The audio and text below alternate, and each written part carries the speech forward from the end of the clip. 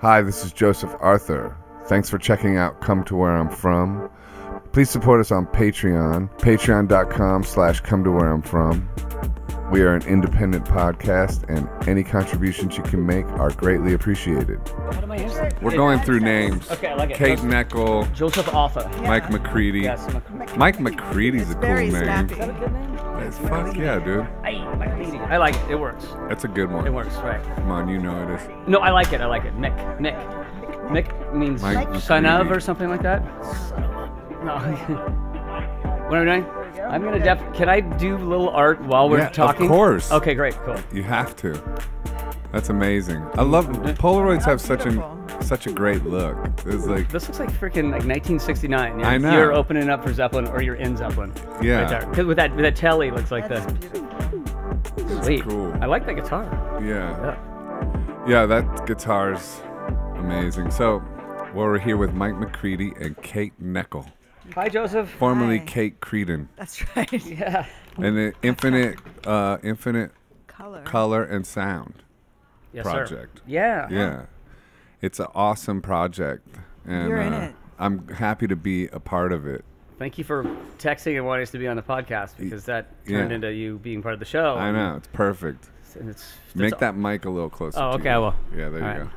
And uh, I I like this concept that you guys are somehow portals to each other to like overcome fears that you've had about you being a, becoming a visual artist. Mm-hmm.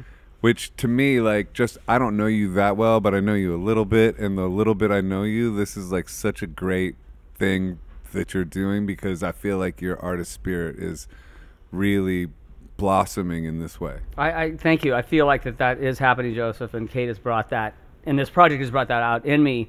Um, in terms of, you know, looking at the guys in my bands that, that do art, that Jeff Ament, who you do stuff Big with time too, with Jeff. He's and you guys. I look at you guys and how and, and arcade and how how easy it seems to paint or draw Yeah. to you.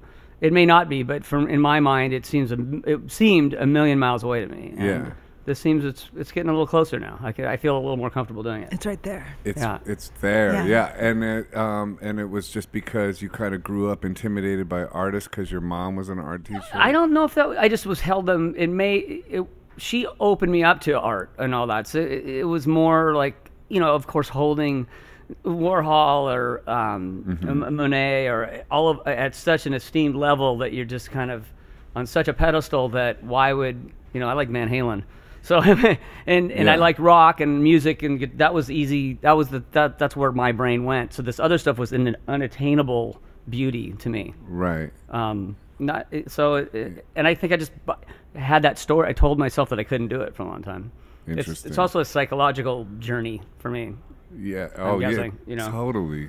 I mean, all of art is, but then you have the Yeah. inverse fear about music. Yeah, I mean, I always, I felt, um, I remember being in third grade or something, and it was the day to try out for choir. Yeah. And I was just so overcome with, I don't know, I, music always made me feel so much emotionally. Like I would cry at a Motown song. You know, I just would Uh-huh. Yeah. feel it. And you, I, I was overwhelmed. I was, and I called my mom. I was like, I'm sick. I can't try out for choir. You know, and I just couldn't do it. And I've always loved, um, you know, I, I love music. I've collaborated before with musicians, painted on the guys in the band Honduras. I've always wanted to do something like what I'm doing with Mike, but I never thought, you know, my wildest dreams that I'd be writing music and playing music.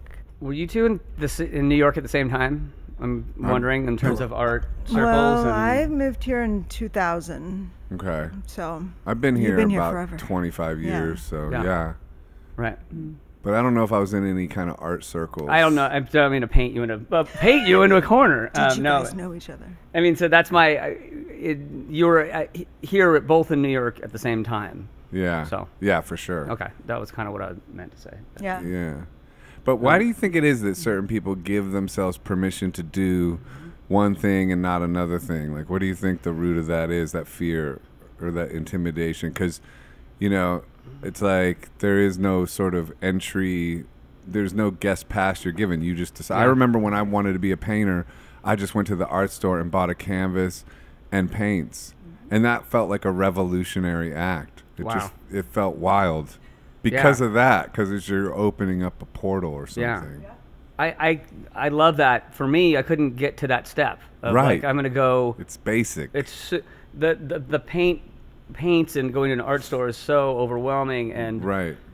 I, it's probably like just oh I'm not good enough kind of thing that and a, and a story that I would tell myself over and over and over again you know Mm-hmm. and that's not only with certain art but w- whatever you know with Yeah. fear or courage or life in general but Yeah. um, it, it was just maybe how I was raised I don't I do not know but I didn't ever have that fear with music I mean music was just the obsession and it went far and exciting and but the other I guess I don't know why you know it's I don't know what that reason is but I'm exploring that now Yeah. not caring anymore.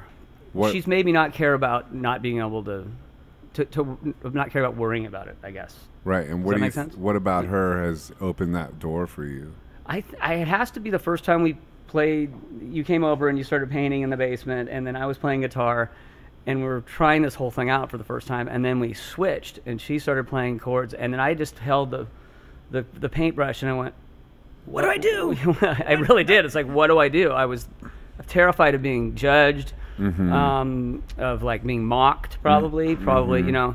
So and uh, all of that was in there, and that could be a, like a whole Seattle weird thing too. Like this, like everybody's so So sarcastic, judgy. so Yeah. judgy and Who do you think you are, painter? yeah. Yeah, exactly. type of shit, Totally. yeah. Like, no, we, none of us in bands want to make it because it's not cool to say that, which is total BS. But so Yeah. I probably bought into all of that, and Right. her not kind of saying anything, just like, hey, just put it on the paper. Was like, I was like, oh, just put it down. It was it was your painting. revela- Ta-da. revelatory, Right. revelatory. yeah, revelatory. yeah, like what you were saying when you went there the first time. It Yeah. was that kind of a feeling, It's a feeling. Yeah. freedom. What's great about this is like for other people to hear that somebody like you, Mike, would be so intimidated to start Yeah. painting because, you know, it's like I don't know. It's just it's cool. I think for people to hear that everyone has those Yeah. blocks Sure. because then they can over. It's inspiring. Yeah, You know, it's like the Ramones m- making punk rock and then everybody thinking, "Hey, I can do that." yeah, Because I remember the first art show I because I never went to college. I, I had the opposite, no artistic um, sort of background whatsoever, and I always painted when I was a kid. And I kind of never stopped. But I remember this girl invited me to go to Alabama to go see an art show, right? And I was living in Atlanta, Georgia at the time. Okay. And for me, a museum show was always just like boring Renaissance paintings where I would go to sleep. Like, oh my God, I don't want to do that. But I had a crush on this girl. of course. Mm. So we, t- we I said yes, Helps. and we went to Alabama. Drove to Alabama in her car, and the show was a Basquiat retrospective, and it it blew you. my fucking mind. Because I, went in there and I was like, You didn't know anything about him at the I- time. no, I didn't Yeah. know anything, and I, and I just saw a whole museum of his collected Mm-hmm. life's work that Madonna put on, Oh my Crazy. god. and it. It, I was like, you mean this can be in Yes. a fucking museum? Like, Yeah. what? I can do this. Yes. Yeah. Like it was that Ramones. I can Yes. do this, you know. And Yep. and ever since then, that's when I went and got a canvas and paints, and I was started, you know. And is it? Were you playing music at that time? oh yeah, Yeah. I was bass player, you know. Right. I don't know if I started singing yet. When did you Mhm. combine the two? That was like, I just, I would, I would get off the road, and, and at that point, I like painted enough to where my album covers started to be paintings and stuff. So I was taking, and then people were responding to my paintings, like taking me a little bit seriously, more Yeah. seriously than I took myself. Right. And I was like, wow, these people think I'm actually know what I'm an the artist. Yeah. know what I'm doing. Like this is crazy. Yeah. And then I was on a painting uh, jag or whatever you call it at home before a tour, and I was like super into what I was doing, and I didn't want to stop. So I was like, I'm gonna take painting on the road. I'm gonna set up canvases behind the stage, and I'd set up a big canvas. Wow. And it was at the Troubadour in Uh-huh. L.A. And that was the first time I ever painted live. And I remember it was like so nerve wracking to do it live in front of people. And I, I went on and painted right before the show started. And then I painted as I was walking off to the encore. And that was Amazing. it. Then the next day, an interviewer said, So I heard you're painting and singing at the same time. And I was already looping. Yeah. But I was like, it, that gave me the idea. That's when the light bulb wa- went off when the journalist asked me that because I was like, I wasn't painting and singing at the same time, but I could. Yeah. but I could. Well, see, you and have that's when, Dun, and dun, then then I could do a Yeah. chord progression and, and paint and Yeah. sing. That's when I started doing that. there's a there's I wonder if there's some sort of a gene or anything that to, that, that in you that says, "Oh, but I could do it." You know. Yeah. I didn't have that. Oh, but I could do it. Right. Gene. I feel I, with guitar and music. I felt I had Yeah. that because I played with a bunch of people when I was a kid, but I feel Right. like I didn't. I wouldn't be able to jump. Oh, I can do this too, and, and then then follow through on it. And that's when I saw that a bit. But But at n- PJ Twenty, when you did that, it was like, oh wow, he's doing all that. How does he do it? You know. Yeah, but you are doing it now. Now Yes, it. Exactly. I'm just trying to get back to the old psychology, and I just Yeah. get away from that psychology, and now we're in the new. Now you're doing it. yeah. Yesterday, when we were playing live or whatever, you actually were playing and painting at the same time. Yes. Yeah. Yeah. So it's happening. Yeah. I yeah, and if you got a Uh, yeah. looper, I know I do. I do have one. and I'm just starting to learn how to do that. I, yeah, like the looper thing would in, would free you up because then you could do a layer and then paint while your layer's going. We practiced that way a little bit, Yeah, and then did we. that. Winston at the gallery show. Did we Yeah, do we that? did it there. Yeah. Uh, But I had a friend of mine kind of running it, so I'm Yeah. gonna learn it and do that. Yeah, it's easy. Yeah. You know, the looping. I heard it. I heard you doing it. Yeah.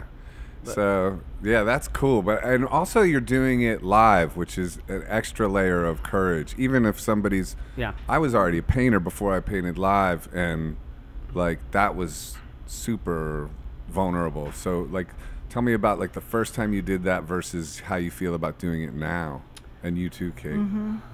Um, well, the first time we did it uh, at the at, in front of an audience was at this place called the Winston Wächter Gallery in Seattle, and it was a whole world for me to step into. It's like there's this is the art world, or or this world that you know, and I'm not making saying that in a facetious way or anything. It was just this different thing, and there's parameters, or not parameters necessarily, but there's an art gallery thing. Right, because we made a whole body Oh. of work Oh, for yeah. the show. For so, the shows. Yeah, so we had a gallery filled with our artwork, and then we did a live performance. I see. parameters for isn't the three right nights. word, but but it was an interesting thing. We were duct taped to the wall, and I'm painting, and there's we had people came and and it just it flowed, and it was Yeah. nerve wracking and fun and, And exciting and and- freeing, and, yeah. like I and I panicked about it, but I also loved it. So I. I it was a myriad of all these emotions, I guess. Mm-hmm. To, so, and, and as comparatively tonight, I, I have a little bit of that, but I, I feel pretty confident and kind of excited about it now because we're in New York and it's kind of a. I feel like that's a cool thing and a big deal, and Yeah. and Yeah. I, I, I feel because Kate's, I feel like we we know what we're doing. So, and and and you're a part of this, so it's going to be all cool.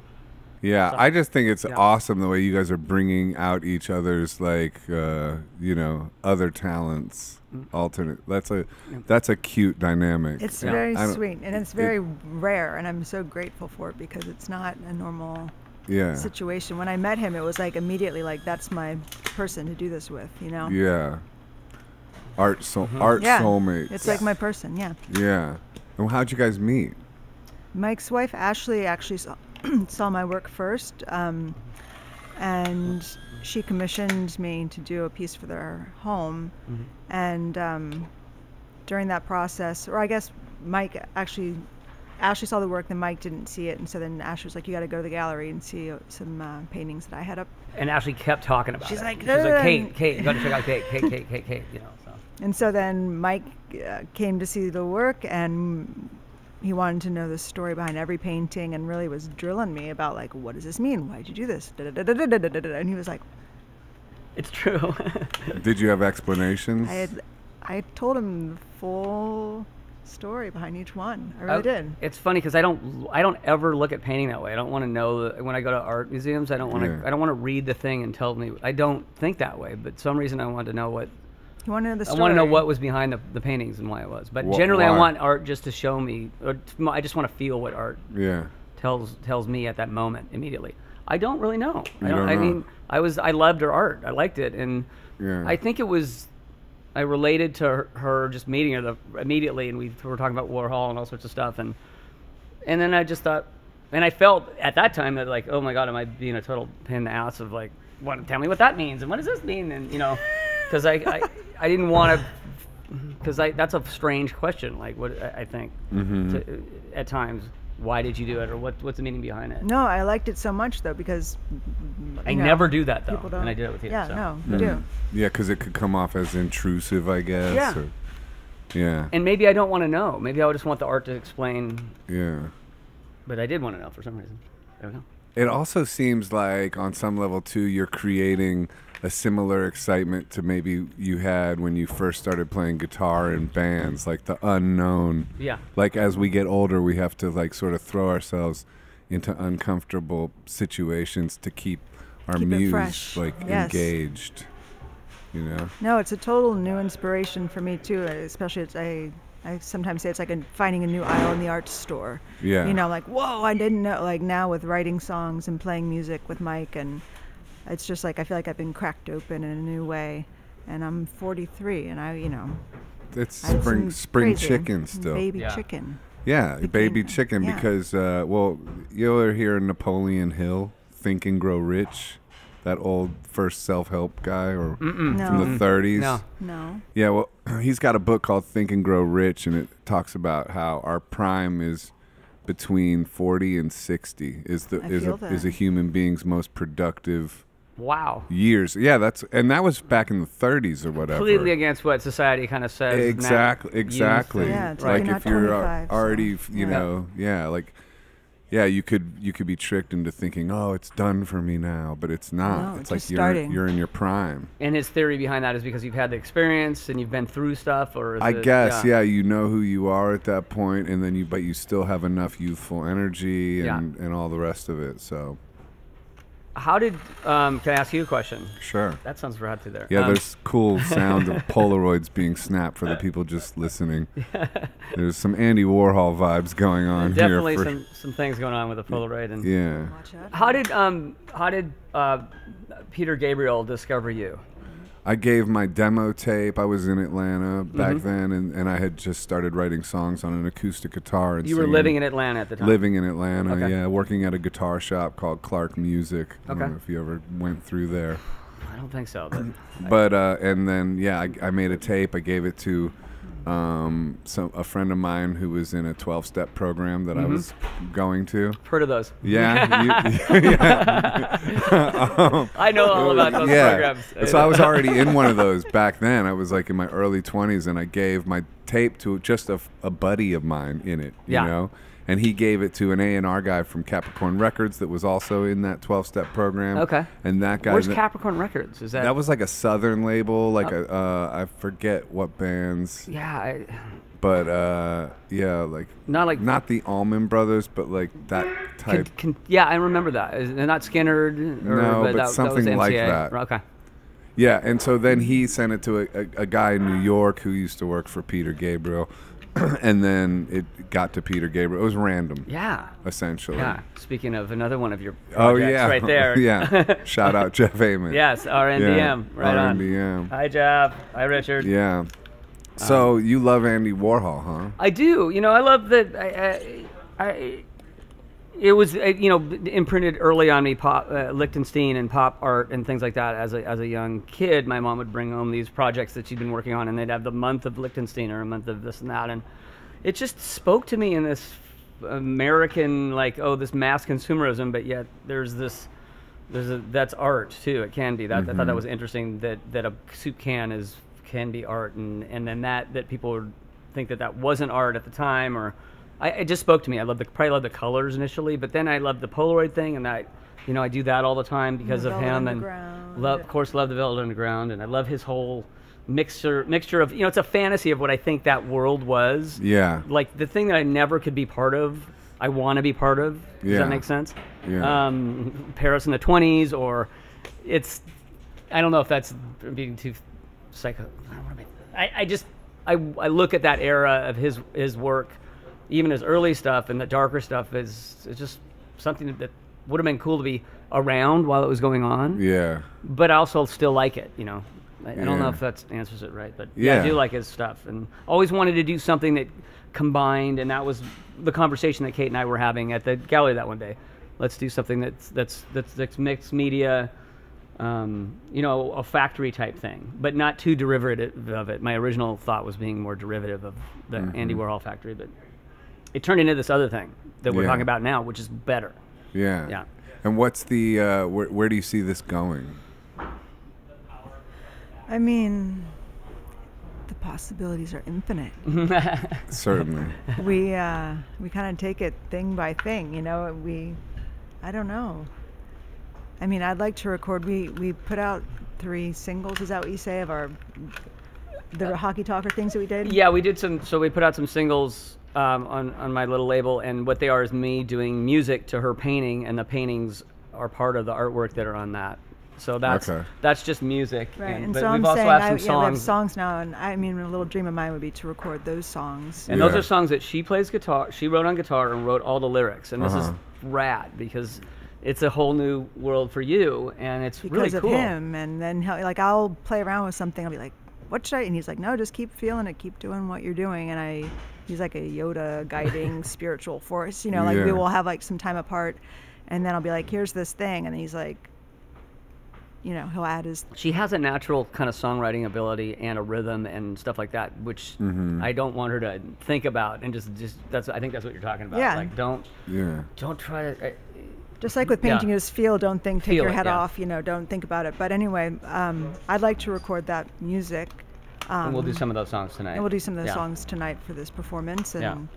but yeah, I mean, it's just super fun. Like coming here, I what I love about this project is that we get to collaborate with other artists and musicians Mm-hmm. and people that want to play around with us, like with Josh from the Chili Peppers, and we're gonna And you, and you, sir, you know, this Joseph is like this is so fun. Yeah. And It's it's so it's rad because you can be part of this collective and it's it's this is the art too that's going on and Yeah. it's not just it's just you know what I mean You're- Right. you're you're, you're bringing your influence into us and it'll be something different tonight because of that so and I, I- that's exciting to me is the what what what is that What is it? you know Yeah.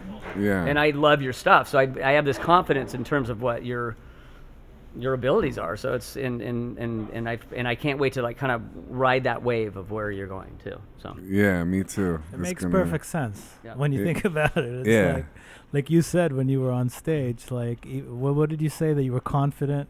Uh, if somebody said somebody said it makes sense, and I'm like, yeah, Yeah. I even think it makes sense. Like my self doubt can't My even self-doubt, stomp, yeah. stomp on that. Yeah. doesn't yeah. seem like you have Yeah. self doubt Yeah. to me, Joe. No, Oh, Mike really? sent I your stuff, and I was immediately like, Yeah. he's in, like a million Yeah. percent. Like, Okay. and I was like, this is our person. Yeah. Awesome. And yeah. he likes to take his shirt off too and run Yeah. around, and I we can do, paint on yeah, that. You know, yeah. I was just like, this guy is you into go. the mannequins. He's, you know, All that stuff. the art, the music. It's Yeah. I, lo- I just love this whole like encouraging people to go like look if you take a chance and you and you open yourself up to new things then like you just take it you just sort of guide it a little bit and then the whole world can open up in so many different ways Yeah. like, yeah. It's a year ago. Like your own this is a one year anniversary. It was like a year ago because it was Ashley's birthday Mm-hmm. when I had my show at the gallery. You know, it's like this has all happened within a year. You know, Wow. it's it's right. crazy. You know. yeah well it doesn't take much time if you have like the sort of spirit guiding you Yeah. and behind you It's crazy. And we were both initially so like, oh, should we try this? I remember being, you know, just we had that conversation about Warhol and our idea, and then I was like, okay, do you want to try it? Yeah. Okay, and then I just brought the roll of canvas over to the. And that's where it kind of got out of the thing. Oh, let's get. In my mind, I was well, the mylar balloons and the whole thing that he did in the factory. And then, then Right. when this happened, it was like, well, maybe he's already done that and he did it let's great. do so our let's thing. Yeah. let's just follow where this goes. and and take it more like an audience based sort of thing But after doing it live a few Yeah. times, yeah, th- that was initially. Um, I, I felt. I didn't know if I thought about an audience thing until we did it, and then that that changed it because it, when we we can plan out everything on our little pa- piece of paper, but that Make changes. Good drawings. You know Yeah. that that changes as you know. You know, I, I, it, ga- gauging on what the audience's reaction is, or what I feel like walking out there doing, or what music you're going to play on the guitar, or what you know. It's it all changes in the night. So, and that's that's the aspect that is that that's gotten exponentially bigger. I think Mm-hmm. is the audience factor. Yeah, and how, Kate, what do you think about painting in a studio versus painting live? In terms of like, yeah, what, what how does that affect your work? No, I mean when I feel when I'm painting by myself, you know, it's I'm moving based on what I'm feeling or what I'm trying to say. And when I'm painting with Mike or you tonight, I usually it's like I feel like my paintbrush is plugged into the amp Uh-huh. or into his guitar, like it all becomes like one long arm extension. It's like Mm-hmm. guitar, neck into paintbrush, and I just feel like I'm guided and kind of like this trance by what he's doing. It's very connected, Mm-hmm. and so um, it's like I'm working. It's this collaboration that happens where I'm guided by Mike. We kind of just like click in, or with Yeah. you, you know, it's like you just kind of click into this different uh, flow, and Yeah. it's really beautiful. and the audience too. I, when I do it, like I, because I, notice like paintings I do by myself have a very different vibe than paintings I do live, Yep.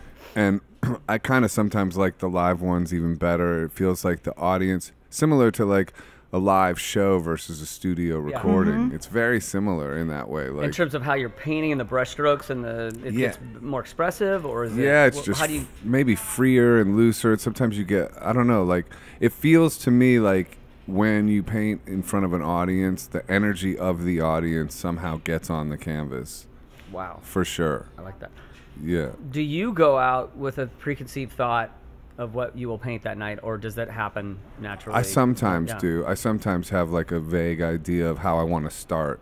Okay. But like when I'm doing it Could you usually give me an example of that? Well, usually, like, oh, I'll do like, oh, I got an idea for a figure I want to put in it, and then I'll do that. Mm-hmm. But then it's so kind of quick too, because usually I do it over one song, Right. and so just grabbing things like really fast and like mm-hmm. squeezing a tube, and also I'm singing at the same time too. So Yeah. it's like it'll just like yeah, it just feels like the energy of the audience somehow gets on it because the there's also nerves involved. Yeah. Like I need to make there's the pressure of I need to make this work now. yeah. I can't like, you know, mess around a little bit, then like sit on my couch and scroll through Netflix and look over at the my mess with resentment and then you I'm gonna know take care of that tomorrow. you know I'll get that lit. watch another true. episode it's like of Frasier. now. Right. I've only seen this one five times. yeah. How hard is it for you to walk away from a painting since it's limited on the length of the song? Mhm. If if you feel it needs more and you just have to let go. It's amazing what money will do to like make me not worry about that. I mean, that sounds harsh, but I'm in just terms of just. I'm just saying, if yeah. like usually if they sell, if I sell it afterwards, I feel like it's a good one, and like you Yeah. know, like Mm-hmm. it, it works. because it's know? part of the experience. yeah, it's part of the experience. someone that buy it will go, I was at that show, Yeah, and they will always have that Piece, that ex- yeah. that piece of work and that Yeah. Experience that Uh-huh. goes along with it. Is that what you're saying? yeah, and then I'll like take them on the road and and sometimes sell them like at other gigs or whatever. But then. Um, if they hang around too long, then I'll start working on them again. Like, Really? Yeah, sometimes. Little Like I'll touch. be like, You do that? oh, Do you do that? Depends. I cheat. Yeah. Like, yeah, I mean, I don't Is think it's cheating, but I don't do it there's on the no- ones that we do, Yeah. but like I'll have paintings that I'll sit and look at for a while and then touch them again. Can I jump in on that for a second? So, Oh, fuck and as- yeah, uh, so, what is it? Because does it? Do you forget about the painting and then you get back to it and go, "Oh, I could have done that," or if I now it's like a week later and you feel these different feelings, and you want to add those feelings to the new painting, to the same the painting that you were working on. Does that make sense? Mm-hmm. Yeah, mine's more mental, I think, and not so feeling based. It's more like, oh, I see what I, I see something, and if if something's hanging around a lot, I get sick of looking at it, and then I want to mess with it, or like things will suggest themselves to me. When do you know it's time to stop? Uh, that's difficult. Mm-hmm. You know, it's similar to like working in a recording studio too. Yeah. Like, when do you know when it's time to stop? You could keep going forever. Yeah. You know. But it doesn't, you know from experience, that doesn't make it better No. usually. It just makes it different. Yeah. Mm. Or it gets it or there's too much stuff going on. Yeah, or too Yeah. much. Yeah. How do you? How about you? When do you know when to? It's just like you know, you're like that's it. Like I Yeah. usually it's a feeling of like I just don't want to do anything else. It just tells you, just like a book ends. I usually just know. Huh.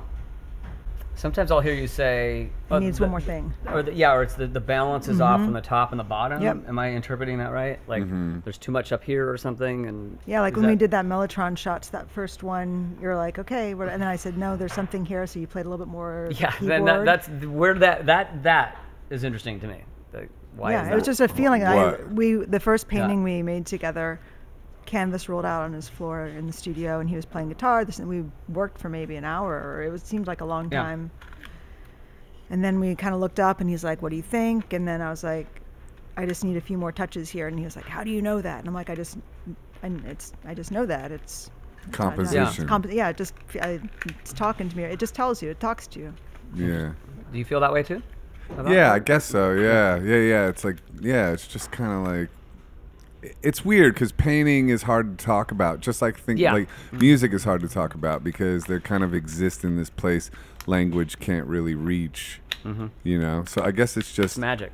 yeah, it's just like something that's like suggesting itself or something, or mm-hmm. you know, I don't know. Like sometimes I'll see like modern painters or something that like just do like, oh, this is just one spray paint line. And I like that shit. I'm, like I always, I, like I, I'm not one of those people like that's not My art, child could do that. Yeah. right? whatever, Like No, I'm always that's kind of like, right. man, how did they keep it that fucking minimal? Yeah. You know, like It's a very clear decision. It's like this is where. yeah, Like the ACDC of painting or something, or like, like yeah, I guess chords, so. three chords of a painting. I don't know. yeah. Maybe a bad example. Oh Jesus! Oh my God! Did I just, did I just kill us? Oh no! Did I just kill us? Oh my God! Sorry. There was a point to this. I promise you. Do you think it erased it? No, the file should be there. It probably just needs to be. Uh, just fucking erase uh, just need to be uh, recovered or something. I'll figure it out. Oh fuck me! Don't worry that did about not it. happen. Figure it out. Figure it out right now, real quick. No, no, Yeah. it doesn't matter if it's now or later. Don't worry about it. It's there. Are you sure? Are we sure, Sarah? It'll be there. I want to know, don't you guys? Yeah, let's know, because that was stupid of me to It'll do be that. I apologize. I wanted to bring a mannequin over while we're doing that. Oh yeah, I need this. All right. Well, God, that was. Why did I do that? oh my God! we might have to redo it. no, just keep going. Don't worry about it. Is it in there? It'll be in the files. Uh, the files. There has to be a way to uh, fix a file. Just or- check it real quick while we're thinking about Yeah. it, because it'll it'll drive us nuts. Yeah. In our head. Just like press play real quick. if You, Well, no, it'll have to I be like unplugged it, yeah. restored and recovered. Don't worry about it. oh, you think so? Is the stage ready? Yeah, they're, they can Okay, start then making why noise don't if we want. Sound check. pause for a second, go to the stage. Well, wait. and then Let's we'll talk. come Like, back. They're finish. gonna need still five Uh, minutes Do you want to finish All right. that thought? They make Yeah, I want So her to the- finish Alright, her go thought for real it, quick. go for Are we? re- Are you recording the cameras? Yeah, that's nonstop. Yeah. Oh, Great. oh, because they weren't on the electric. No, they're. Oh, okay. If they do make some noise, is that okay? Yeah, it's fine. Yeah. Yeah. Great. Yeah. Yeah, we might be just starting over right now too. 'cause, Yeah, we'll, we'll finish the thought on Duchamp and then we'll like, uh, and then we'll see. It's It'll- all good, guys, man. It'll be. Okay, Don't great. It's all good. Don't worry. I'm gonna go get a mannequin, and it's gonna make a lot of sense for the whole interview. I feel less lonely though. Okay. So I know. Anyway. I feel like I just let everyone down. All right. So, anyways, we'll continue. oh my god. Oh my God. Anyway, I was just gonna say that the mannequins evolved out of you know in my studio. I had this arm sitting on the floor, a mannequin arm uh huh. sitting around, and Mike was like, I don't know. We we, we d- it went from one arm to like, oh, it would be cool to get some mannequins. Yeah, Not one that- it was from that mannequins, arm, like yeah. 1,000 mannequins. Like we had so many mannequins. If one's and good, there- then, let's get ten. Yeah, you know so that we kind of. like we had so many mannequins, but then we also had like window frames, and we just had all these other found objects that we kind of would incorporate and painted on and, and put dice or dye, Yeah. whatever. You know, Mike has artifacts around his studio, very Duchampian Mm-hmm. uh, sort of vibe. So we're all about kind of like All this is art that. now, and we're gonna play with it, and Yeah. it's our new toy. Because he was like the first one to kind of do that. Mm-hmm. Like he's sort of like, you know, precursor to Warhol, really. exactly, and I- like. I'm fascinated because I don't show know anything picture. about Yeah. this. So. Well, he's the guy Yeah. that did the toilet. You you've seen that the R. Mutt that's like just a urinal. I like haven't. in a gallery. It was On- a in a toilet, gallery. like a, just a toilet, and he wrote R. Mutt on you, it. you know why he did R. Mutt? I, I know, but I can't remember right now. It's because uh, it was it was for like a a contest, like an art contest, and he was one of the judges of it. Mm-hmm. So he had to hide his identity on the piece. Oh. Like so he's he He he, made up the artist R. Mutt, and that's what he signed it as. But the funny thing is about that is he he thought it would be sort of like you know like create a bunch of turmoil, and it basically just kind of got ignored yeah, I was like oh, no, nobody really gave a shit and nobody really like talked about it. It Mm-hmm. was like a super letdown. Oh, wow. acro- so it oh, it gained it gained a lot of fame over the years, but it didn't start off like it wasn't like an explosive thing. Uh-huh. Because that guy, like he, he was like a tutor. He like taught like English or whatever to make a living. Like he wasn't well off or anything like that. So Okay. it's I interest- uh, I'm excited to learn more This because I is don't what know. we do. Like he'll Yeah. show me, he'll pull out records. He has this amazing vinyl collection, and I've gained this whole new music history knowledge. And then I'm like, hey, check out this. You know, Uh, yeah, that's art. You know, we pass things back and forth. like forth. what's some of the things he's passed to you? Oh gosh, um, I feel like what comes to. I mean, it depended. We would sit down there and like one day there was the a Tom Petty, uh, the Insider, Insider, song. I yeah. had never listened to Insider, and it was. Do you know that song I don't- Insider? Not off him the top and of my head. Stevie Nicks. Stevie Nicks. It's so Just Oh, beautiful. really yeah, yeah. Um, and cool- it's- yeah, just cool beautiful dark duet, song, and it was yeah. just like Yeah. it's a rainy Seattle day, and then he put that on, and then we're got into the whole Gram Parsons, Yeah. Flying Burrito Brothers Uh-huh. thing, and then we'll, you know, and I knew he just has such a knowledge of As you do of that part of art, I music. I just and the Went Rolling Stones down that and, road. You know, every. Yeah. I mean, that could be a whole other Replacements. podcast. We listen- Replacements. Yeah. Cheap, cheap Yeah. trick. Cheap Trick for sure. You know Yeah. that. Uh, A lot of reg- here, here, comes, a regular. regular. Yeah. Jinx. D- Wow. d- d- That's a great one. yeah. Yeah. What's your favorite music to paint to outside of the live music that Mike makes? Um, that's a good question. You know, it's I was uh, when I made my work for my last solo show or whatever. I was randomly listening to a lot of Kendrick Lamar. Yeah, I like hip hop to listen to while was I paint. interesting, yeah. Um, his flow and his, you know, he's a poet, and I, Mm-hmm. I really got into listening to a lot of his. Are you I talking about to Damn? and Uh, also um, some of his earlier stuff. But yeah, Damn was on repeat. Damn was huge for so me. good, That one, like I- Feel and Element, like DNA. Although I just was obsessed with that album, and I had like his picture on my wall when I was listen- when I was creating my last show. yeah, So Kendrick, it's very random, but yeah, it invokes a warrior spirit. it does. That music. Yeah. What do you? How do you think this project's gonna affect your music coming forward? I think it's going to affect it a lot in Yeah. terms of my confidence in doing stuff with our band. Mm-hmm. Um, you know, with with Pearl Jam has been. I, I think I've felt intimidated over the years. You know, in terms of we were talking about art, and you know, I look at Jeff, and he does does great art for our stuff, and Ed does it, and. I, again, getting into that mindset that I've had for many years, um, I feel like I don't. I'm not worrying about that anymore. I'm kind of like, okay, maybe I have an idea for something. Whether it works, I don't know, but I'm going to try it Right.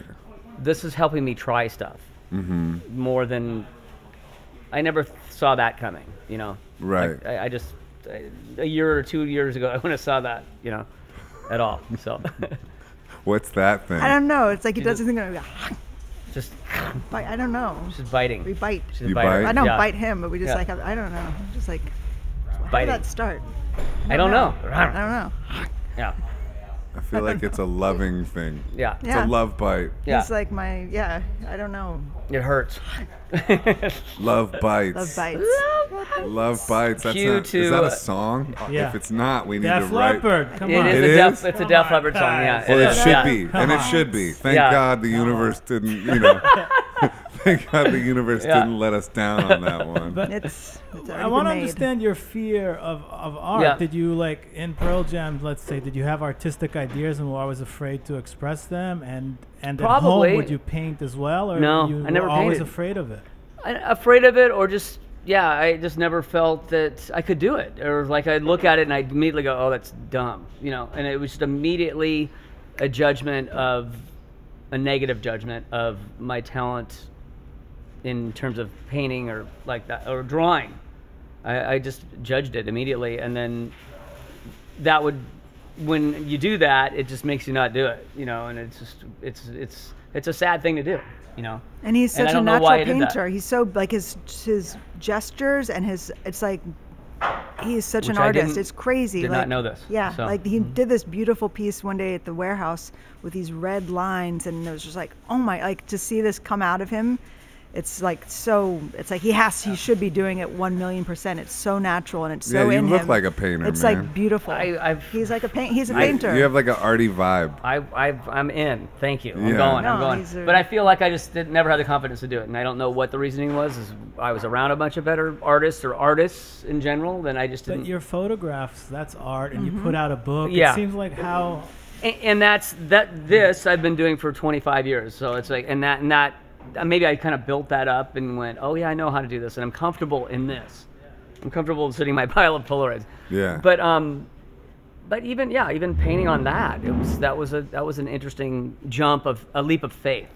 yeah, you decoupage the mannequins. He covered. Yeah. He has these beautiful mannequins back in Seattle. He covered. I took Polaroids of her or whatever, and then I put them on the man. He you know, covered yeah. mannequins with me. Yeah, That's cool. yeah, Polaroid mannequin. something like that. Yeah. That So- could be a band name. Polaroid mannequins. They're going to see Polaroid mannequins. Are you seeing the Polaroid mannequins tonight? They're they're going at 3 a.m. they're playing Love Bites. Yeah. yeah. Yeah. So that's that's wild stuff. I forgot I had a question, but then I just spaced on it. Later era Def Leppard. No. Yeah. I know it because I was Hysteria. way Are into you, the, yeah. yeah, are into you the first are you record. intimidated to present song ideas in Pearl Jam as well, or is that what you're talking about, or just more visual? Or, over the years bef- prior yes yeah i was uh, less now now i kind of just do it and go well yeah. i think everybody comes in initially yeah for sure yeah the first three records i was like these You guys all write so good and jeff wrote this and the, I, I, I just like i just want to be a lead guitar player and it was probably I the see. path of least resistance yeah. in terms of how my personality is and I think it was it took getting getting clean a long time ago and that was the whole of like oh okay I can actually do stuff now you know Yeah. and I, I think that that part of that addiction or whatever I had back in the, in those days and that was something that kept me out of having any kind of confidence or any kind of Right. you know it beat me down so and it then around our for, for getting back into the band kind of stuff the fourth record is when i started writing songs and and then I, oh i can do this you know and then mad season was another project and when i i think it took me getting clean back then to do that yeah. So you know? your sobriety is like able enabled your blossoming as an for sure artist. for sure Yeah. A hundred percent. I- Yeah. Looking it, looking at it in 2020, 2020 vision. you Right. know. And then the demons or whatever the or the the self doubt and the questioning over the years, even when I'm still in that, is just old ways of thinking coming back. Right. And and those old ways I'm trying to undo or undoing by doing this project or And then what do you do? What What are you, some of the things that you do when those demons come? Like how do you talk- recognize how do you them or talk- write a song about it or write, try to Mhm. write it down in a journal or you know meditate about it or pray about it or what, anything or turn it into a song Mhm. to the best of my ability or you know or or or sometimes go to one of those 12 step programs you're talking about but no i do do that so i, I do that too um, so all of those things you know whatever's positive to utilize darkness and to walk with it and learn from it i'll do now Right. Yeah. and I, I guess I have more. I know how to do that better now, and I'm, I'm Yeah. back 20 years ago, not not as much.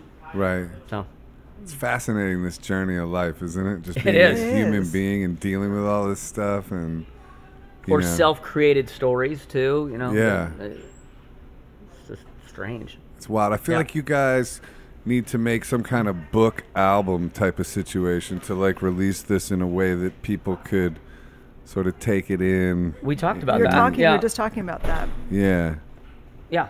Polaroid Mannequin would be a good name That's for a a, great book. book, title. Yeah. Well, we were saying we have Yeah. so much work. We've created so much, like Yeah. In the first six months, it was Yeah, it's been- crazy. yeah. Every day, like eight hours working together for six months, and then after that, more. You know, still working, but not as intensely. But we have a lot of work, and we were just talking about a book before we left Seattle. yeah. Yeah. Um, I think that would be fun, especially. I mean, we have all kinds of new material now too from Yeah. New York. Have you done a book? no, but I need to do that too. I've done like kind of, Mm-hmm. but I, I want to do that. I write poetry too, so I would like Yeah. to do some kind of poetry art book situation. What do you think's more expensive, Mike? art supplies or guitar supplies? It seems like well, it depends on the. It seems like art supplies are kind of expensive. Yo, Uh, yeah. kind of, Yeah, Blick dude. and- It's like the craziest expense to be an artist. Like the confidence of like buying all that stuff. It's no joke. It's no joke. like the the pens that you brought. Oh, Those ones yeah, are pretty spendy. they're They're, They they're, they're yeah. spendy. Yeah. Yeah. it's all spendy. But You so ca- are your guitars, Michael. yeah, they are. That's but- why I brought that up. Yeah. Um. Well, guitars. You probably get given them now, but No, no, yes. Luckily, I've been able, through the gracious so world of the band, guitars. and We- it's, we've been I've been able to buy some nice ones. I heard a funny story about you though. That Uh-oh. uh, yeah, this is kind of uh oh. Uh, no, go ahead. We can. By the way, we can edit anything. No, out I want if this all to be too, a- too gotcha. I don't mean it that way. It's all for It- you. it's a funny. It's a funny story though. But like, 'cause I just hope I didn't ruin it earlier by. Don't Oh, I hope, I hope that we got that stuff, but we could redo that. Okay. But uh, I heard that Yes. like Fender was giving, like back in the day, Fender was giving you like, uh, do you not like? No, tell it. Tell it. Fender was don't know. True Fender. Fender Yeah. was giving you tons of guitars and Yeah. and and Mike was like you know doing the kind of the Who thing and, so, and Yeah. thought that they were like sort of just like you know basic Fender guitars was no big deal if he did the Who thing like smashing the guitar up Yeah. and apparently like he smashed up like a bunch of them Stratocasters and they were like super rare super top of the line like Yeah. uh, like it, actually to the point where Fender won't give them guitars now because of that they probably Yeah. will now but like uh, I, I there was, like definitely I didn't realize the, to the extent of how I, I didn't realize they were very nice, Like- newer guitars. And, Like- yeah. Let's just say I wasn't realizing a bunch back then, but I did like to break some shit. That's for Yeah. sure. I still. You, why can't we do that now? What do you mean? well we can I but want we to just smash have, mannequins. Yeah. And, you know, I always want to. I you always do end up wanting- smash. We do smash mannequins. I mannequins. know. We should more. smash- I Me, would- you. Yeah. but if, I feel like if I smashed a mannequin, it could like come back to haunt me. Like, look at his anger; he's smashing a mannequin. like, you know what I mean? Well, Like, they just fall. You try and Or move you get your them, they- anger out on the Yes, well, you try don't and know. move them. They fall apart. They're very Yeah. difficult. They're very difficult to put together. So then you just end up wanting to break just them. like my ex-girlfriend. Yeah. Boom. No, just, Just kidding. to set I that one right up, set it up yeah, for you. up, like- But I did. Talk about that. I apologize, Fender. I did not realize what I was doing then. I kind of did know what I was doing, and then I didn't care, and I was just like, "This is, we're everything's taken off, and I love breaking stuff, and I'm probably lubricated alcoholically back then, and you know, Yeah. so it just it, wa- it was all part of it. But so that is a true story. That's a funny Yeah. one. Yeah. I wish what, I still had some of those. what are you playing now? All kinds, right? All stuff, you know. I've Les I've Paul. Les Paul. I've got a I've got some a lot of vintage stuff that I love, and I'm lucky to have a. I got a '59 Les Paul I love, and um, a '59 Strat. I love the word '59. Have it, you know, the the number 59. Um, so those era and a Telecaster I play, um, and a lot of acoustic around the house. You know, Yeah. Gibson Dove, or the whatever Mick and Keith used on Exile and the pictures of the Exile. I, that's what I want to use. It's like just because hmm. of that mythology, but I also like those guitars. and the too. one with the stars on it is cool too. That's the Everly Brother, yeah. yeah, Everly like Brothers model too. acoustic. It's pretty cool. What are you using? Whatever he has. Whatever he has. Did he take give you one to take home? I have one Yeah. at home. Yeah. I have. You have a Les Paul. Don't I have Les smash Paul. It. yeah. Didn't smash it. I just, I just Put, put some paint oh, on and I, it. though. I drew all over She one did of draw them. yeah, on Which my one Jeff. is that? It's a, a Jeff Tweedy um, uh, So S- pretty. Le- uh, Gibson SG, Uh-huh. and she drew on drew some cool stuff on it. So- I like Yeah. SGs. It's Yeah. blue. It's I'm in a band pretty. with Peter Buck, and he got me, uh, I think for my birthday or something, he got me this gold sparkle SG. nice. It's like, uh, yeah, it's beautiful. Yeah, he's Really? like, yeah, and he was like, you need a, you need a signature. He's like, you need a, you know, a signature guitar. I forget how he said it, but you need a guitar that's like your guitar, and and he gave me that. Yeah, He's a rhythm master, that man. Dude. And every time I try to compliment him, compliment him on that via text or something, Yeah. he's just kind of he's kind of dismissive of it, or Uh-huh. I not not in a bad way, but just kind of like stop. eh, But he's just, I would say, in terms of maybe he's underrated as a guitar player because he's such a maybe he doesn't do leads or something like that Mm-hmm. as much, but he's such a rhythm player and a r- songwriter, and yeah, love him. Musical, really Yeah. like musical riffs. Yeah. like that are really, Jangly. Yeah, 12 string stuff to music. Yeah. yeah. So, We just made our second record. Nice. It's it's it came out really good. when's it coming out? I don't know yet, but um, Who else is playing on it? Linda Pitmon on drums, Scott McCaughey I on bass. Scott. Um, Scott McCaughey's doing okay too, Greg which Foreman is thank God. on keyboards. Yeah, yeah. Scott McCaughey I used to buy records from at Cellophane Square Records back in 1978, 79 when I was a young boy. Where in Seattle? Yeah, in Seattle. Is that where you grew up? I grew up in Seattle, yeah, and they had this the great record store called Cellophane Square that had bootlegs and stuff like that. And Scott McCaughey worked there at the Huh. time. It's before his Young Fresh Fellows kind of thing. Right. He was kind of the he was the nice guy at the record store. He wasn't one of the kind of the dicks that would be at record stores sometimes. They're like, why? Of course you should be buying this. Why are you buying that? But He was very helpful and cool dude. So would- Did, did he record store mentor you, kind of, or not really? in hindsight, yes. In hindsight. Yeah. No, for sure, because it was a great story. It's the first time I ever saw bootlegs. Was at Cellophane. It was just Kurt Bloch took pictures of Cheap Trick and he'd sell those there, and oh, really? yeah, it was the whole thing. It was a little scene. It was a big deal to go. You know, when you first discover music, you're like, Yeah. I'm taking the bus. I'm going to go to the four record stores on the Ave and be there all day with my friend Danny. And it was do you- Cellophane was the cool one. So you think that helped you like discover your musical voice by growing up in Seattle and around that kind of energy? For sure, yeah. That or just getting a guitar when I was 11, and then just starting. I started playing in a band when I was 12, and then that's all I ever did. It was just kind of we Right. we were my warrior, and we would play. You know, we'd play shows in eighth grade and seventh grade, and dances, and did rock, and all I did. I play. That's how I learned how to play guitar was, was playing with other people. I think. Interesting. So, I and I took a- lessons a little bit too, but I mostly that kind of thing. And There's then, some great pictures, and I saw those albums, Lot- Shadow, yeah. and like he had some A lot of spandex going on. I had Oh, some yeah. spandex that were baggy on me. I was so skinny. I had baggy spandex and braces. So I like the way you Yep. looked. Uh, like uh, when I first saw pictures of Pearl Jam, I felt like you were the one I could relate to because I'm from Ohio and you had like a little stash and had long hair, and I'm like, that dude looks like somebody I grew up with. nice. yeah, like, I was trying to have a mustache for sure. I definitely had a partial mustache for my no, entire that- life. that's the stoner stash. Is that what it is? Yeah. Clearly, that's what it was. you, you, you, you nailed it, Joseph Arthur, right on the head. Stoner Stash. Mike Yeah, Another name for a band. Stoner stash. And the pol- opening for Polaroid That, yeah, no, Stoner Stash is the leader of the Polaroid mannequins. It's Sto- Stoner Stash and the Polaroid One mannequins. of them is we're gonna Yeah. give a mustache to that. Oh one my. God. Oh my gosh. Yeah. He's always late for practice too. Always. Just always. Yeah, so Stoner big. Stash. He's just like barely shows up. He shows up at the gigs lately. He Yeah. You know, and we're lucky when he shows up for those. Just yeah. When did you start painting, Kate? Um, you know, I started painting.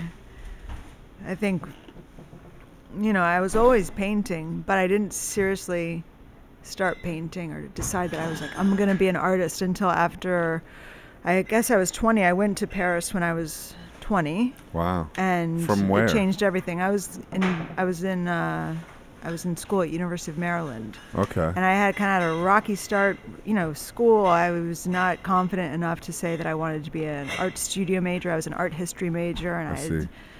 You know, didn't have a lot of direction. But I went to Paris. Where'd you grow up?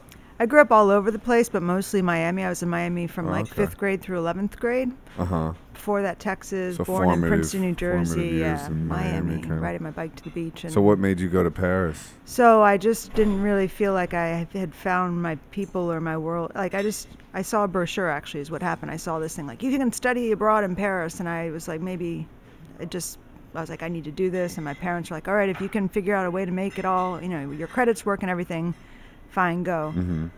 And I just felt it was one of these things. I just felt like I needed to go do this, and I went to Paris, and I met this guy David, who is this. I saw this skater boy like sitting by the fountain. It's always a guy it's named a beautiful David. and I met David, and I started photographing him, and you know, my friend Athena. I just I met all these artists and people in fashion and models and create, you know, all these creative kids in Paris, and I was so inspired when I left Paris that I was like, I, I'm gonna make art, and I'm gonna, you know, I'm gonna do this thing. So I got back to Maryland. I changed my major to art studio, and It blew the It- beatnik spirit into you, like, Paris. It's Paris it? is like, ding, you're done. And so, Yeah. yeah.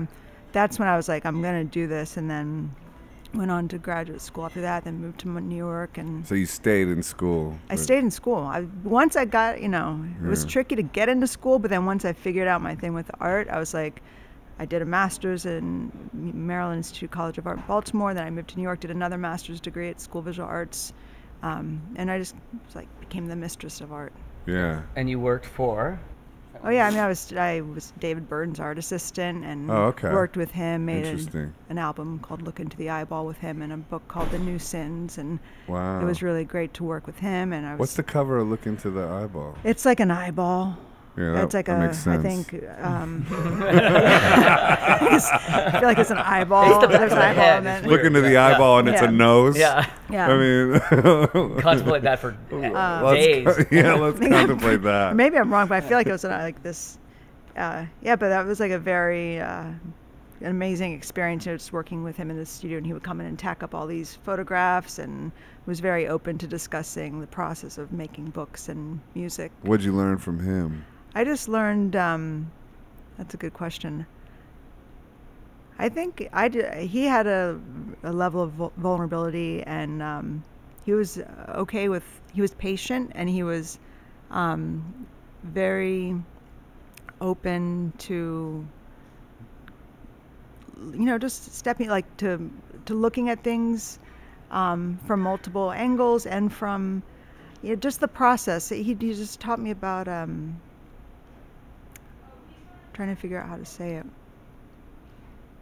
Yeah, I- he just, I think, I just learned about the artistic process and about, I don't know, being, you know, editing and getting feedback from people and just being open. You know, he just, it was like, this is David Byrne, but he was just very open with me. And I was, you know, just, yeah, he's just open and very kind and very, you know, I was just like this girl who just moved to New York and my video teacher SVA was like, you know, had made some videos with him and he was just very nice to me and you know, it's like he taught me like be a good person, be cool, be open, be, you know, generous with your work and it was very it was a very good experience.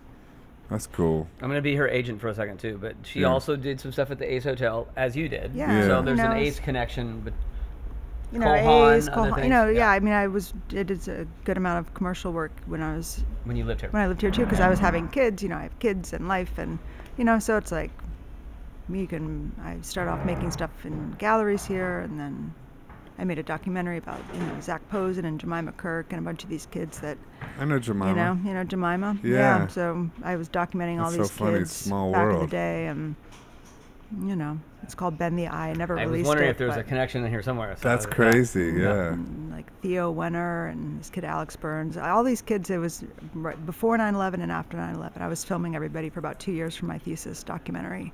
And what's and that called? It's called Bend the Eye, and a lot of Bend the that footage is in the Zac Posen documentary that came out last year about his career called House of Z. Um, but I didn't ever do anything with that documentary because after I made it, I don't know, like Jemima went on to do Girls, Girls. and, you know, all these, and la Huerta's in it. Um, a bunch of different people. Okay. But I just filmed for about two years in New York. I, I, yeah, I, I know that sort of New York That era. mhm, kinda. That's and then you went to Seattle. yeah. What- Two years ago. Why? I went to visit my sister, and it was just a sister visit. And then the, literally the first night that I was there, I was like, "This is where I'm going to move." Why? It was a feeling. Just a feeling. Yep. And I called my husband, and I was like, "I don't know if I'm just having a great time with my sister or whatever, but like, there's something about this place. I, it's magical to me. It just was one of these things. Just like when I met Mike, and you're like, I know I'm going to work with this person, or I, that you know, we have this energy together." It's just the same kind of, you know, I don't know. You guys know that thing, like when you feel something's right, and I'm like, this is mm-hmm. where I'm supposed to be. And your husband was cool Yeah. with that moving? He, he came and had this. He was like, I get it, you know. And he'd been in New York since '97. what a cool dude. He's amazing. Yeah. Shout out to your husband. Shout out to. Tom. Tom. Yeah. Yeah, that's pretty cool. And so, do you still have that special feeling about Yeah. Seattle? You and still now it's even it? got it's evolved more. I mean, because like look what's happened. Like you feel Yeah. these things. You're like, I'm meant to be here because these things are supposed to grow in my life. Yeah, that's super interesting. And I think we we were talking when we first met about what is the art scene in Seattle. Is there one that goes on like there is in New York? Because in my mind, what in New York is, you know, what you do, and there's it's Mm. I was huge just about and it's to ask bigger. you. I feel like you need to have a New York period. That's why I was I saying want- that. I'm like, like, you- like, like, I feel right? like, yeah, I feel like you would Thrive. Right? in Yes. New York. I, I have in a had a lot of New York period. I, I Yeah. really, I loved, I would love to do that. Yeah, I did Yeah. spend a lot of time here at, in the '90s for sure. Like, Yeah, but I, mean, but- this uh, incarnation Yeah, of you. exactly. This is a different you. I, Oh, for he's sure. so Yeah. Yeah. simpatico with New York. oh, I Yeah. love it. I can't. No, yeah, you're a vibe in New York. Oh my god, I just it's just so much going on and so much influence and I feel like there's gonna be a New York book or something or Yeah. new inspiration. I can't here. stop. Yeah. You know, like uh, there's this, and then there's why is there why does like why do I care about that? I, You're more New York than anyone else here, bro. I'm telling you.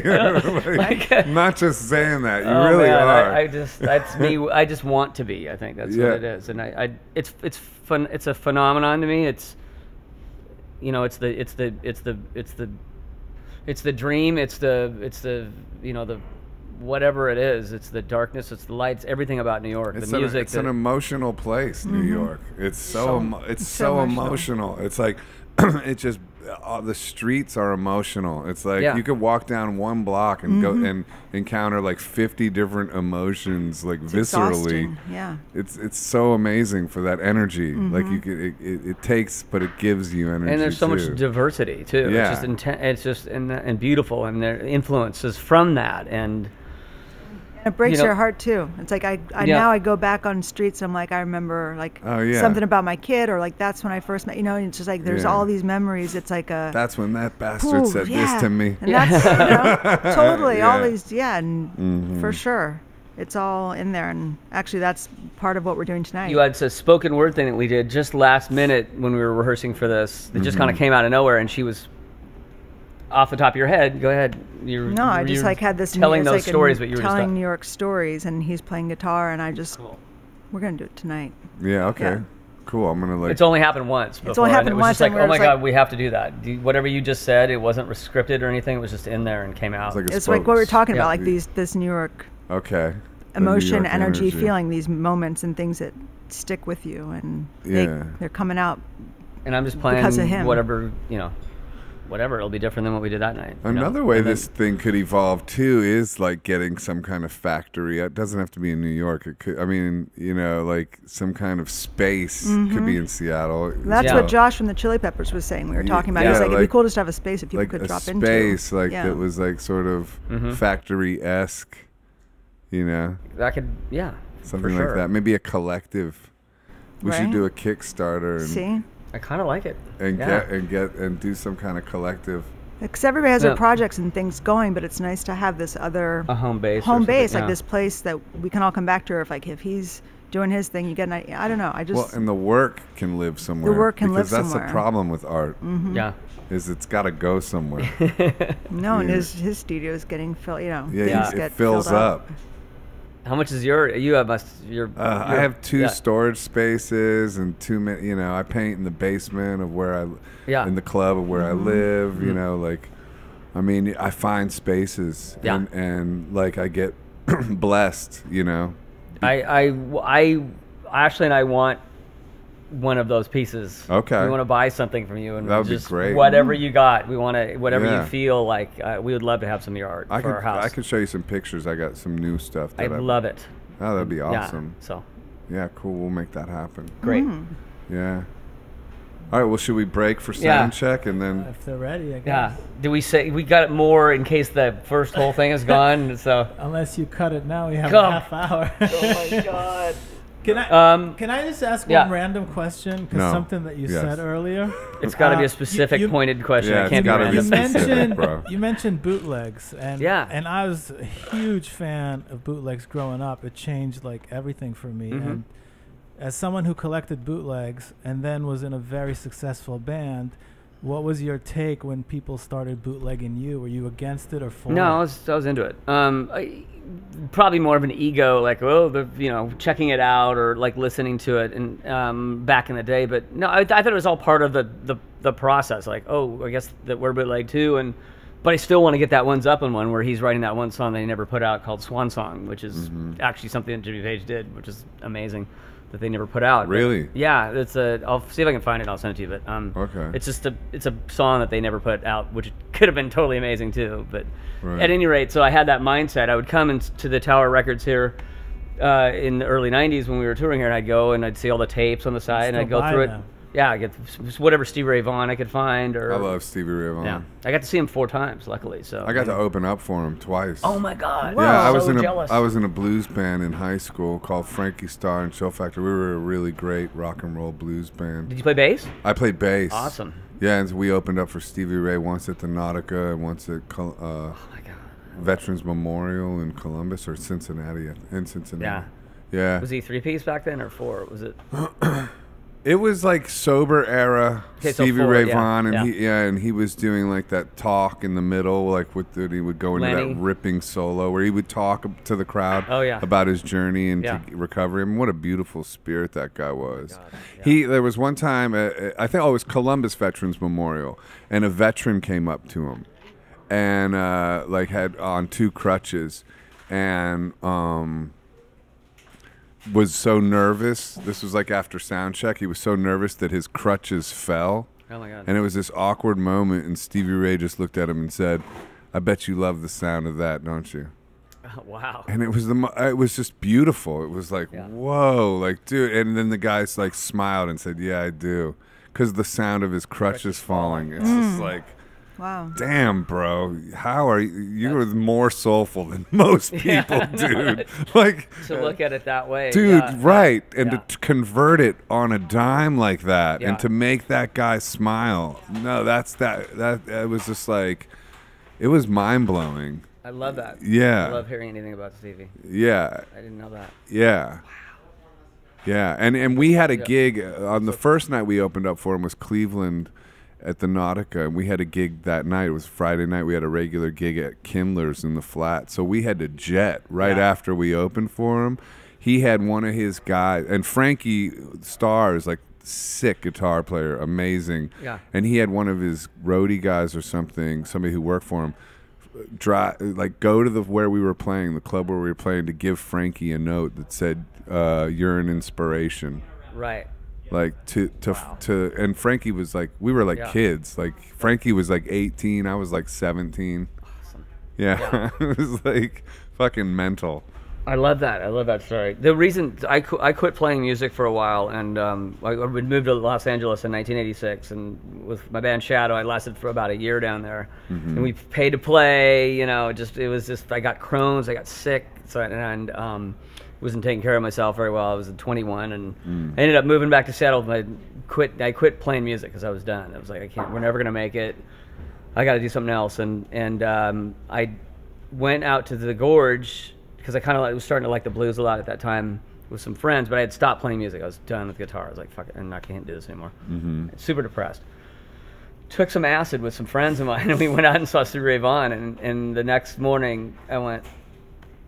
The next morning that I was, because I was still up, you know, and I, was like, I got to start playing music again. And so that's my one good kind of LSD yeah trip was like, oh, I saw Stevie at the Gorge, which is the most beautiful place to see a show I think in the world, um, over the Columbia River. And I remember him playing "Couldn't Stand the Weather," and and I wasn't tripping hard. I was, but, but the, the, an actual cloud came over, and it started raining, and then it stopped. And that I think that really happened. At any rate, maybe it didn't really happen, but it did in my It was mind. transformative. But I remember driving back home with my friends, and I was in the back seat, and I listened to Machine Gun from Band of Gypsys, and I just went, and like the next day, I went, I gotta start playing guitar again. Wow. So it was this Yeah. combination of.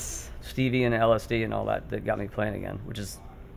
I've never talked about the LSD part before, but that was well LSD I mean Bill Wilson was way into it I know. they tried to talk that down but homie was like he was into it. he was yeah. dropping acid Yeah. like and was you know or you know and and counting it as and ca- not counting it as sobriety yeah, you know which I can, s- you know, I- there's a million ways to get sober, so I don't I don't judge anybody on that. But I it, it's agree. interesting. It's like at that time, I think it was more of a psychological thing. Like Tim, what Yeah. they did, creating it in Harvard or wherever the fuck they came Right, up with it. and right. So Yeah. he probably looked at it in terms of.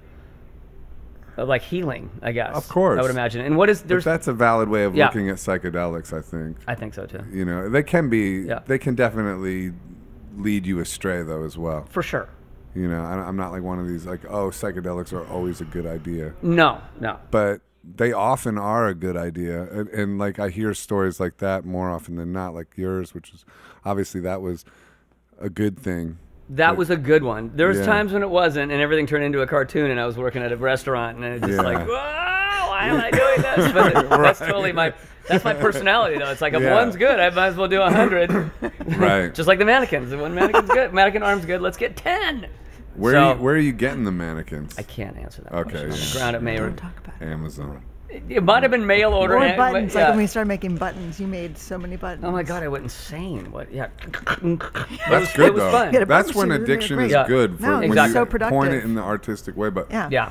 Yeah, the whole Bill Wilson thing is funny with that, but just because there is a subset of like people in those rooms that are like the you know the big book thumpers or whatever Mm-hmm. that have like a very stern outlook about sobriety, which is which I can't argue with, Mm-hmm. but it's just so funny that the founder of it certainly did not have Didn't that have the. same stern grasp on it. I wouldn't think if he was I would doubt it. Yeah, I don't. I can't speak for him or whatever, but Yeah, I know neither that can I. story too. But Yeah. you know, I, again, that's it's it's whatever works for the individual is the way I look at it now. I guess it's like, kind of like Jesus too. Yep. Like you know, like a lot of people take his thing and like run with it in their own direction. you know, so, so it's a sort of a similar thing. Like Jesus. like he was a hippie. though I feel like he was pretty open minded. You know. Yeah. Joseph Arthur. Well, Bill Wilson, Yeah. thank you, but Bill Yeah. Wilson is the Jesus of AA. I mean, He's- oops, I'm. It, you I- might have some people. Uh, I, you know, he. The, I'm glad he exists because I wouldn't be together. Oh yeah, But, me too. yeah, I'm but- from Akron. Yeah, I know Akron, Ohio. Yeah, where- where it Devo all- and Bill Wilson. And and Yeah. yeah. Dr. Dr. Bob. Bob. Yeah, all that. Yeah. I, I hate to be the one to do this because we could go on for an hour. Okay, so I shouldn't walk they- around they- this no, way, I'm they gonna need go this way. They need Okay. you to sound check, and maybe we'll continue the podcast at the Okay. end of the show somehow, and we'll piece it together. Yeah, Okay, and you're gonna Uh, find out if we have that yeah, first bit. yeah. After sound check, and I'm I'll- sensing a I'll lot of confidence in his eyes on that. I last know, one. I'm not like- loving Pretty it. confident. Okay, good. There's got to be file recovery, guys. is. There's got to be. There always is. It Yeah. should. It probably should automatically save. That thing looks a bit high tech. It looks. Yeah. Yeah. That looks fancy. Like you didn't get the cheap one. I didn't, but um, I usually use a Roland, and I know in Roland you can recover. I don't know about Zoom, but we'll find out. We're gonna find we'll out. Find We'll out. find out. All right. Cool. Thank We'll you, make it happen for either way. it. Thank you, Thank Joseph. you. It was Yeah. fun. Thank you. All It's right. fun. Yeah.